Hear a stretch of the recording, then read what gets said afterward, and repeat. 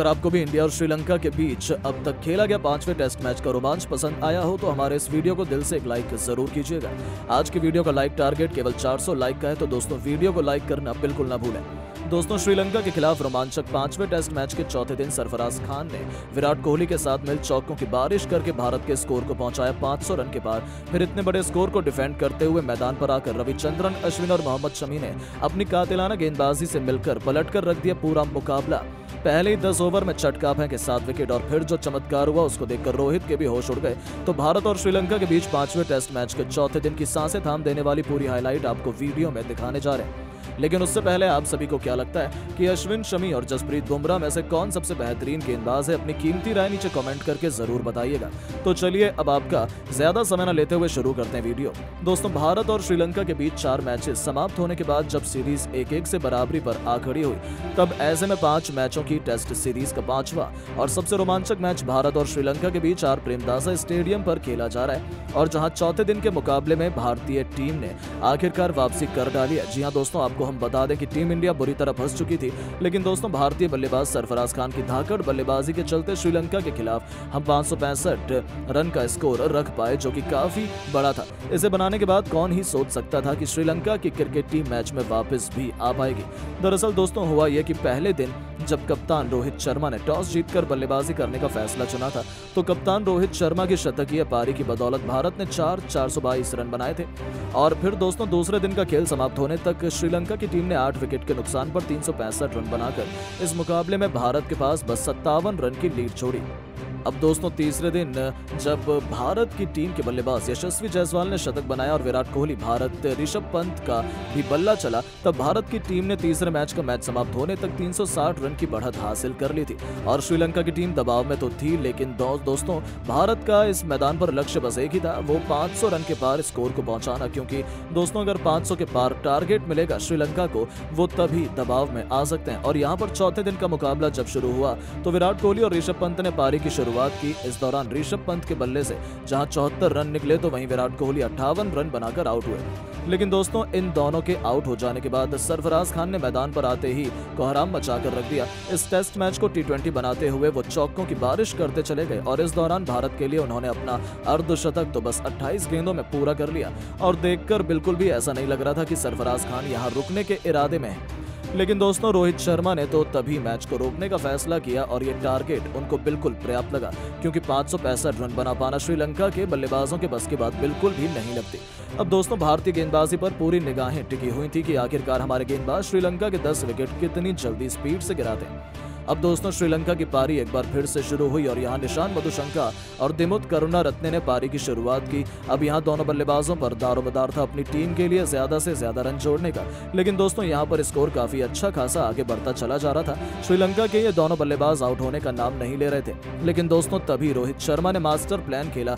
यहाँ पर रोहित शर्मा जानते थे कि तेज गेंदबाजों को अच्छी मदद नहीं मिल रही है, क्योंकि न अब रविचंद्रन अश्विन को लेकर आया जाए। और वही कुछ कर सकते हैं, कारनामा। और आदि रविचंद्रन अश्विन ने पहला बड़ा झटका श्रीलंका की टीम को अपने पहले ही ओवर की पांचवी गेंद पर दे डाला। दरअसल दोस्तों, यहाँ पर हुआ था कि रविचंद्रन अश्विन ने जब निशान मधुशंका को अपनी कैरम बॉल डाली तो यहाँ वो समझ नहीं पाए कि ये गेंद बाहर की तरफ़ कटेगी या फिर अंदर की तरफ़ आएगी। और वो बाहर की तरफ़ शॉट खेलने के लिए चले गए और गेंद कट गई अंदर की तरफ़ और जहाँ वो क्लीन बोल्ड होकर पवेलियन लौट गए। अब दोस्तों, यहाँ बाहर श्रीलंका के ओपनर बल्लेबाज निशान मधुशंका ने पाँच रन के जवाब में अपनी टीम के लिए यहाँ बस चौदह रन जोड़े। अब पहला बड़ा झटका लग जाने के बाद श्रीलंका की टीम पर दबाव अभी तो बनना तय था। क्योंकि दोस्तों दोनों बल्लेबाज दिमुत करुणारत्ने और कुशल मैंडेस जानते थे कि वो दोनों अभी फॉर्म में चल रहे हैं और भारत के किसी भी गेंदबाज के आगे डटकर बल्लेबाजी कर सकते हैं। यहाँ पर इन दोनों बल्लेबाजों ने अब मिलकर स्कोर को आगे बढ़ाना शुरू किया और 50 रन की साझेदारी यहाँ से भी पनपनी शुरू हो गई। अब एक छोर से मोहम्मद शमी को लंच काल के बाद रोहित शर्मा ने लगाया तो दूसरी तरफ़ से रविचंद्रन अश्विन अपना दबाव बना रहे थे। यहाँ पर मोहम्मद शमी ने जब पारी का पैंतीसवां ओवर करवाया तो उस ओवर में कोई भी रन नहीं मिला और दोस्तों, यहाँ पर श्रीलंका के बल्लेबाज एलबीडब्ल्यू आउट होने से भी बच गए। अब यहाँ पर उन पर दबाव था, बड़े शॉट अगर नहीं लगाए तो ये दबाव बनता चला जाएगा और फिर हम हार जाएँगे। लेकिन दोस्तों, यहाँ पर अगले ओवर में फिर फ़ायदा मिल गया अश्विन को, जहाँ अश्विन ने आउटसाइड पिच की गेंद को डालकर कहा, यहाँ कुशल मैंडिस को अपने जाल में फंसाया जो कि 40 रन बनाकर इस मुकाबले में आउट हुए। अब दोस्तों, श्रीलंका की टीम ने अपने दो विकेट गवा दिए थे। श्रीलंका के खिलाफ बस एक ही गेंदबाज अपना प्रकोप जारी करे हुए था और वो थे रविचंद्रन, अश्विन, जिनके आगे कोई भी बल्लेबाज टिक नहीं पा रहा था। लेकिन दिमुत करुणा रत्ने और एंजलो मैथ्यूज ने मिलकर यहाँ अच्छी साझेदारी की और दोनों बल्लेबाजों ने न सिर्फ़ अश्विन बल्कि शमी का भी काफ़ी डटकर सामना किया। इस बीच जसप्रीत बुमराह भी खतरनाक बॉलिंग कर रहे थे। लेकिन दोस्तों, यहाँ मोहम्मद शमी ने तो आज कहर बरपा रखा था।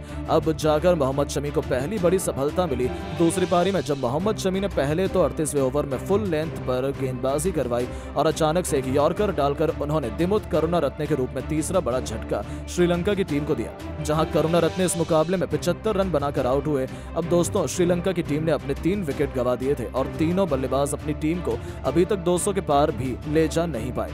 अब यहाँ एंजेलो मैथ्यूज और दिनेश चांदीमल की तरफ़ से पूरी श्रीलंका की टीम देख रही थी कि आखिरकार ये दोनों बल्लेबाज हमें इस मुश्किल परिस्थिति से निकाल पाएँगे या फिर नहीं। लेकिन दोस्तों, यहाँ जब स्पेल मोहम्मद शमी और अश्विन का समाप्त हो गया तो इन दोनों बल्लेबाजों ने ताबड़तोड़ बल्लेबाजी करना शुरू कर दी। अब चौथे दिन का मुकाबला हो और भारत की टीम पाँच से कम विकेट ले। ऐसा भला नहीं हो सकता, लेकिन दोस्तों, आज भारतीय गेंदबाज एंजेलो मैथ्यूज और दिनेश चांदीमल के आगे घुटने टेकते हुए नज़र आए।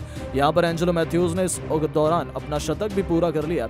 एंजेलो मैथ्यूज रुकने का नाम नहीं ले रहे थे और दूसरी तरफ़ दिनेश चांदीमल पूरी तरह से उनका साथ निभाते हुए स्कोर को धीमे आगे बढ़ा रहे थे। लेकिन दोस्तों, जब आज चौथे दिन का मुकाबला समाप्त होने वाला था, तब आखिरी के दस ओवर कप्तान रोहित शर्मा ने फैसला किया कि मोहम्मद शमी और अश्विन को ही थमाया जाए और यहाँ अश्विन ने फिर से आकर चमत्कार कर दिखाया। और उन्होंने एंजलो मैथ्यूज, जो की एक सौ तेईस रन पर नाबाद खेल रहे थे, उनके रूप में चौथा बड़ा झटका श्रीलंका की टीम को दिया, जहाँ एंजलो मैथ्यूज ने अपनी एक सौ सत्ताईस रन की पारी के दौरान ग्यारह चौके और सात बड़े छक्के भी लगाए। अब दोस्तों, एंजलो मैथ्यूज के आउट हो जाने के बाद फिर अगले ओवर में मोहम्मद शमी को भी एक और सफलता मिल गई और दिनेश चांदीमल इस मुकाबले में सैतालीस रन बनाकर आउट हो गए। अब दोस्तों, चौथे दिन का मुकाबला तो समाप्त हो गया, लेकिन अभी भी श्रीलंका की टीम ने अपने पाँच विकेट गंवाए हैं और 260 रन मात्र बचे हुए श्रीलंका को इस मैच में जीतने के लिए। अब पाँचवें दिन का मुकाबला अपने आप में ही रोमांचक हो जाएगा, क्योंकि दोस्तों, अगर पाँचवें दिन भारत अगले पाँच विकेट नहीं ले पाया और श्रीलंका ने 260 रन बना दिए तो श्रीलंका की टीम विजेता घोषित हो जाएगी।